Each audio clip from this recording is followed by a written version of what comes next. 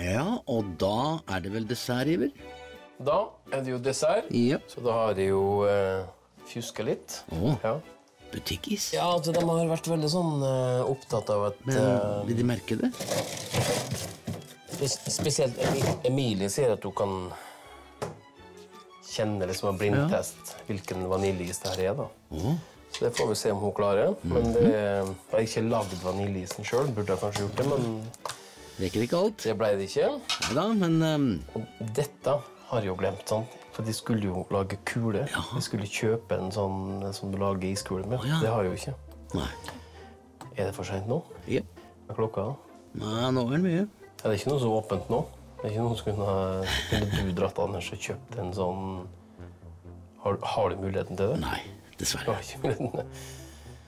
Nei, Det har jeg ikke. da blir det jo eh, Da blir det jo ikke kule, da. Hvis det ikke finnes en smart måte. Kan hende de får Ja, sånn, ja. det nesten, da. Ja, Nesten kule. Ja, sant? De kan jo liksom dandere litt til, da. Ja, kan jo det. Det kan de gjøre. Ja. Så nå- er vi liksom på firkanta her. ja. Og så skal kaffe helles over isen, er det sånn? Ja. Det er det som er liksom trikset, da. sant? Ja. Ja, Trikset er varm kaffe. Kaffen er varm, ja. Ja. Men smelter ikke isen om kaffen er varm, da? Mm, Men det er litt det som er litt greia, da. Ja. Akkurat at du spiser den når det er litt varmt og litt smelta. Ja. Men det jeg gjør, jeg legger et lite sånn mynt, eh, sånn mynteblad på toppen. Ja, nettopp. Sånn. Da er desserten ferdig. Så bra. Så da skal jeg ta det her med til gjestene. Ja, gjør det. Gjør det. Ja, Du burde jo laget isen selv, men når du har kjøpt is, så kunne du også gjort litt mer ut av det. og Enten kjørt den opp i en foodprosessor som blir litt sånn mykere, nesten som en softis, så blir det bedre mot kaffen. Og det er også lettere å lage fine kuler, som du også etterlyser. Og kaffen, så at ikke isen smelter, kanskje bedre å ta med kaffen ut til bordet, helle over hos hver gjest, sånn at du får da en liten servering og gjør litt mer ut av det. Og toppen, prikken over i-en, selvfølgelig en god ja, cantucci eller en eh, biscotti eller noe, for å få noe sprøtt til. Da er det affocato. Som eh, jeg tror bare, Nå kjenner vi hverandre så godt at nå lener vi oss over bordet. Ja, ja, sant? ja. Til dessert, altså. Affogato.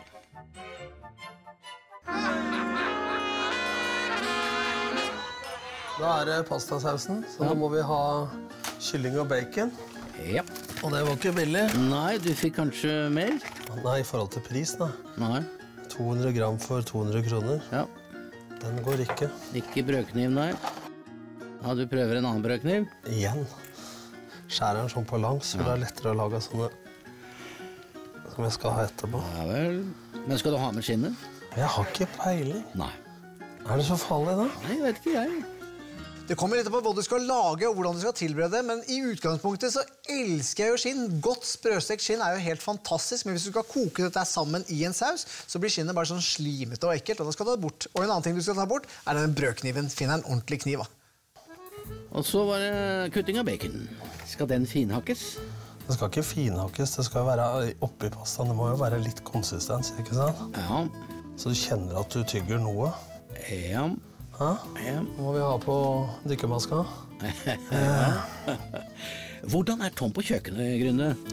På kjøkkenet er eh, Tom relativt rolig, tror jeg. Aha. Helt til det er et eller annet som går skikkelig skeis. Da blir han forbanna. Opp sann. Ikke nynn, Nordli. Det passer deg ikke. At Nordli nynner? Det blir flumse. Nå må jeg skjære opp en gul løk mens den eh, blir varm. Okay. For jeg skal ha en halv, halv gul løk. Ja. Ny teknikk med samme kniv. Nå går det bra, altså. Ser ut som det går bra. altså. Nå koker oljen, Tom.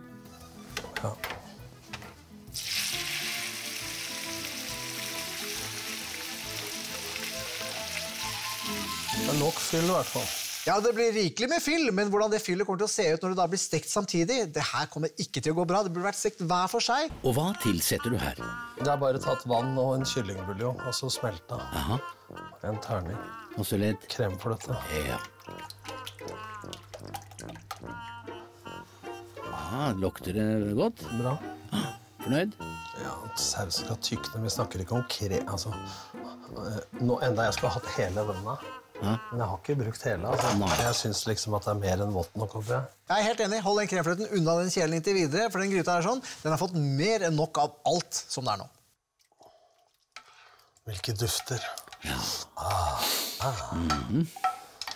Nå må vi få i gang noe pasta her. Oi, dette ser godt ut. Jeg tror det. Det er kanskje litt mye pasta, men Ja, vi kjører på. kjører på Merete først. Ja, glutenfritt først. Sånn, ja. Litt der, ja. Sånn. Det er fint, det her. Da er det klart. Klart til servering. Ok, lykke til. Takk. Hovedretten blir litt lite hummer og mye kanari. altså Litt rustikk og grov og udelikat pastarett egentlig, med veldig mye fløte. Og så steker du da baconet sammen med kyllingen, som gjør at egentlig ingenting blir stekt, og ting bare koker sammen i altfor mye fløte. Så jeg savner rett og slett bare friskhet og liksom tydelige smaker. Og jeg tror også konsistensen på dette kjøttet blir liksom ja, ikke sånn som det skal være. Klar for hovedrett. Se her, ja. oi, oi. oi. Det er litt mye egen glutenfri til deg. Så fantastisk. Til hovedrett serverer Tom noe som låter fint på italiensk, pasta nonna rosa.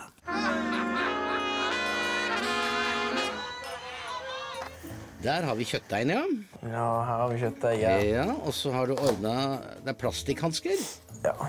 Er det viktig? ja? Tenker det er greit. Ok. Så knar du litt, ja. Det ser jo ut som en lever, da. Lever. En lever, ja. Jeg vil ikke at burgerne skal bli for tjukke heller. Nei. Men det skal jeg gjøre nå, det at jeg gjør sånn. Ja, Hvorfor gjør du det der? Nei, jeg skal massere kjøttet litt, så det blir godt i munnen på gjestene. Ja, tanken er nok god, Alexander, men det å drive og massere og gni og klemme på dette kjøttet gjør ikke at det blir mørere, det blir faktisk seigere, fordi proteinene binder seg i hverandre, og du får mer en sånn puckaktig fornemmelse når du spiser denne burgeren etterpå. Så det enkleste og det beste er faktisk å bare behandle minst mulig, så at du får en god, liksom nærmest porøs hamburger, får du god tygge- og spiseopplevelse. Da er disse her klar til å steikes rett før servering. Og så er det tid for å klargjøre hovedretten. Ble burgerne litt små, syns du? De ble søte og små, de. Ja. Så det er sånn de ser ut på bensinstasjonen, altså. Nei, de på bensinstasjonen de er så tynne. Det er jo derfor jeg prøvde å lage de så tynne i sted. Men de ser jo bare som kjøttkaker. Ja, men de er sikkert gode. Så, nå, nå ble jeg varm her. Ja vel. Ja, det kan ta på å være kokk. Går det bra? Pust rolig nå. Sånn. Går det bra med burgerne? Full kontroll nå. Ja, det er bra. Ja, så var det osten. Ja, må ha ost på. Ja, det er godt. Men jeg synes du virker litt stressa, ja, Alexander. Jeg visste ikke at det var så stress med å ha gjester. Nei, det kan ta på det, altså. Nå har vi fått litt temperatur. Altså. Ja, men det er bra. Sånn, ja. Ta burgeren først, da. Ja, Tar den sånn. Åh, det der så jo kjempegodt ut. ja veldig. Og så salat. Jeg syns det er godt med litt ekstra salat. da. Det, det er litt Ikke sant? Mm -hmm. Så tar vi noe sånn her. Løk, ja. Så god maisen. Ja, du liker mais? Sånn. Ferdig. Gratulerer. Da kan du servere.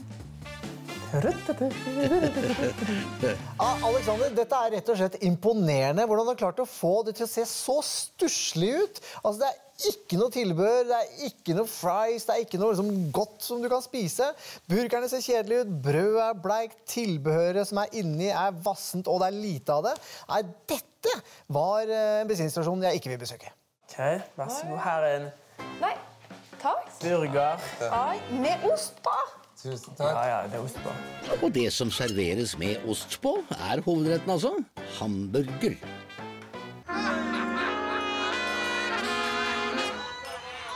Du skal brune kjøttet. Det gjør du alltid før du steker det i ovnen. Skal du brune kjøttet. Så nå skal jeg legge alt i ovnen først. Nei, vi skal salte opp og pepre det. Ja. Og legge det oppi stekepanna i olje. Å ja, så det er ikke noe ovn nå? Ikke ennå. Nei, det er har det i. Og så skal det inn. Ok, Så alt skal krydres i en panne nå? Hør nå, først skal du bare der det ligger nå, du tok det ut, der skal du krydre med salt og pepper nå. Sånn, det er forsiktig. Ok, Så da gjør vi denne klar med smør. Nei da, men jeg, i hodet mitt så må jeg ha alt klart. Hvis ikke så stryker jeg med snart, Fordi nå er det altfor mye for meg. Men Vita, nå sier du at du skal bruke smør, men det her er jo vitterlig margarin, og det blir jo ikke de samme smakene. Jeg frykter litt for resultatet her sånn. På Grünerløkka i Oslo er Vita fortsatt ikke klar. Skal jeg putte inn de nålene nå? Nei, nå skal vi brune det i stekepanna. Og det er panna først. Ja, nå er gjestene like uh... Det høres jo riktig ut. Ja. Oi, oi, oi. Oi, oi, oi. Se her. Å, herre Mallorca, fort nå. Sånn. Smekk inn termometeret. Hæ? 38 grader, står det. Den skal være 56 grader, da er den ferdig. Ja, men Ikke nå. Eh, det, Vita? Anja, nå ble jeg stressa, for det står Jeg kan justere den. Ja. Ok, men da justerer du den til 56. Men jeg skjønner ikke hvordan jeg gjør Det det. er litt dårlig tid, men dette går fint, tror jeg. Hvor mange grader skulle jeg ha? 56 grader. Ja. Så inn med den. Å ja, faen, jeg må, jo ta, jeg må jo ha panna klar òg. Jeg må egentlig vaske en stekepanna. Hvis du skal rekke det, så må jeg møte gjestene. Ja, da er jo det Ja, da gjør vi det sånn. Hvordan ser biffen ut, Vita? Den er veldig blodig, da, men jeg liker jo det. Ja. Men jeg tror jeg skal steke karotin, for den kan jeg ikke ta noen sjans på å ha full av blod. Nei, ikke når man er gravid. Sånn. Og så har vi da pastaen. I vannet. Den begynner å bli bedre. Jeg vet ikke om dette er det som funker for at den ikke skal være rød. Kanskje den bare blir hard og jævlig nå. Ja, det blir den, vet du. Jeg ser jo det, jeg òg. Så egentlig kan det være at dette er en dum idé, da. Hvorfor det? Kanskje jeg egentlig skulle ha kutta den opp først. Det er lurt å dele opp kjøttet på den måten hvis man ønsker at det skal gå fort, men det er ikke så spesielt bra for selve kjøttet, for det tørker mye lettere ut, og det her burde du egentlig gjort på forhånd. Stek det ferdig med steketermometer, bare latt det hvile, og så eventuelt bare lune litt på det i ovnen. Null stress. Hvordan ble resultatet? Det her ser jeg akkurat den ene der, den tykke, Ja. kan sikkert stekes bitte lite grann. Ja, mest å være sikker. Hvordan ble resten av kjøttet? Perfekt. Ikke langt unna. Jeg syns den er perfekt. Da er den perfekt. Fy faen, det her er jo Det her er jo helt nydelig. Ja, Det ser fint og rosa ut nå, men det er altfor mye varme i kjøttet. Det burde vært hvilt mye lenger, for Når du begynner å skjære i det, så renner jo alle kjøttsaftene ut, og da blir det grått og tørt ganske fort. Nei, nei, nei. Hva? De deler seg. To Nei da, det ser eh, rustikt ut. Eh, Det gjør det. Eh, Ja, hva sier man? pastaklubbene, er det det man Ja, kan si? det kan man sikkert si. Åh, det ser faktisk helt jævlig ut. Nei da, det ser rustikt ut. Det gjør det. Nå skal det serveres. Lykke til. Takk. Ai, ai, ai, Vita. Her gikk det ikke helt som det skulle. Altså, Pastaen ble jo rett og slett underkokt, og veldig også.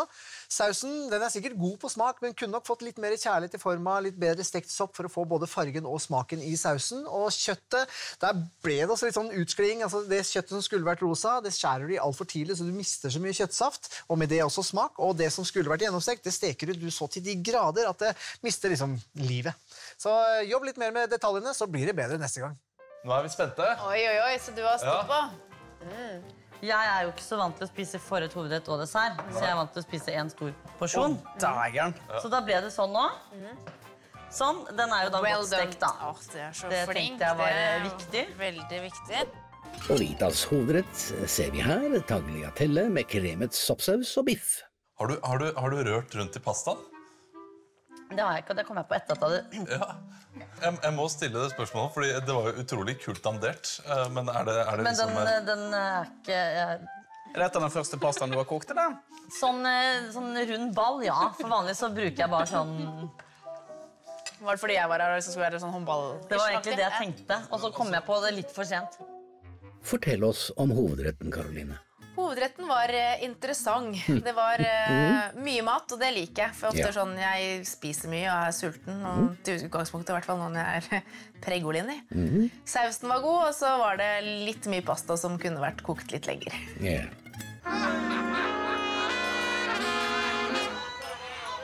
Og da gjenstår bare cevichen. Herregud, så lite det kom ut av jernlima. Ja, den så virkelig gjenstridig ut. Ja, Det kan være litt vanskelig hvis limen er litt undermoden, for da blir den fryktelig hard. Det er utrolig vanskelig å få skvisa ut noe av jusen, så da må du bare legge på kjøkkenbenken og så presse alt det du makter frem og tilbake, rulle over, for da får du liksom knust noe av fiberne, og da er det lettere å presse ut mer av jusen. To sitron og to lime. Bra jobba. Da tenker jeg at Det får holde. det får holde. Nå har jeg jo fulgt oppskrift etter eh, punkt og prikke. Aha. Men denne her står Ja. slettes ikke i oppskriften. Og det gjør heller ikke granateple, som jeg også har tenkt til å bombardere over hele eh, kreasjonen min til slutt. Du verden. Fire spiseskjeer soyasaus. To Hvor mange var det? Fire. Tre. Og vi er på åtte, og der var vi i mål. Dobbel oppskrift, får jeg håpe. Denne her, Den der, ja. Hva skal du finhakke med, da? Ikke den. Ta-da. Den, ja. To teskjeer, da. Du, vet du hva? Jeg tror vi bare kaller en spade for en spade og sier at den er ferdig. Ja, men så Nei, chili. Chili. Irriterende å måtte hakke enda en ingrediens. Ja. Jeg har stor respekt for de som eh, gjør dette her. Det kan jeg bare si. Mm, nå smaker det Å, fy. Det lukter ikke noe godt. Ikke?